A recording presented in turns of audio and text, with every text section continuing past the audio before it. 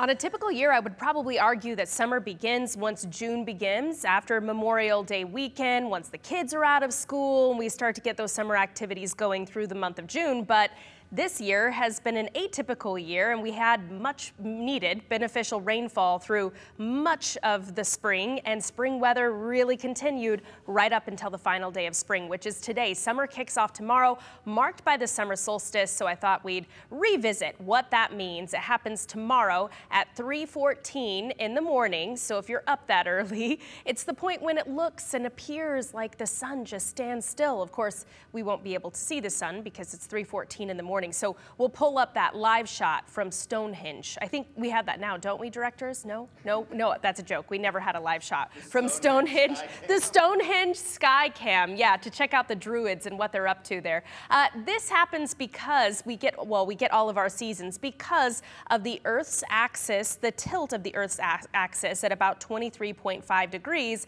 And so this is the maximum tilt of the North Pole toward the sun, which puts the sun's direct energy energy over the Tropic of Cancer at 23.5 degrees north of the equator. So this is just another way to look at the uh, the situation that unfolds tomorrow morning at 314. Now, this is when our sun is at its strongest burning power and solar power, and we also have our longest amount of daylight, about 15 hours and 26 minutes of daylight, though it really only de decreases by a few seconds as we make our way toward the day after the first day of summer. But we will start to burn daylight very, very slowly as we cruise toward the fall equinox equinox, which happens on September 22nd. We can cross that bridge once we get there, but this just gives you an idea of how much daylight is lost each month as we head toward winter. Of course, we've got a lot of summer ahead of us with it just starting tomorrow, but I also want to point this out as well.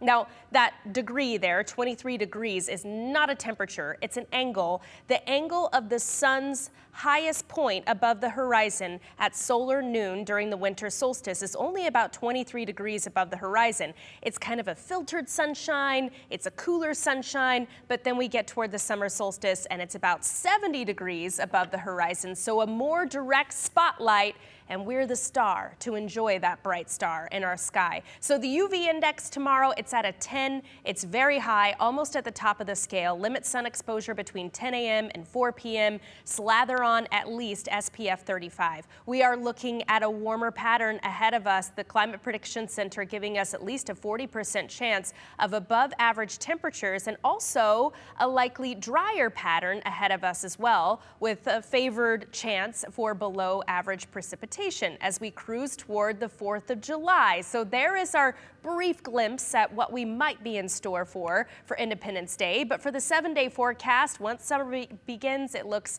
a lot more summer like, and you can always find the freshest forecast at ktvb.com. But I think for now, Doug, as I said last night, it's time to just put it into cruise control.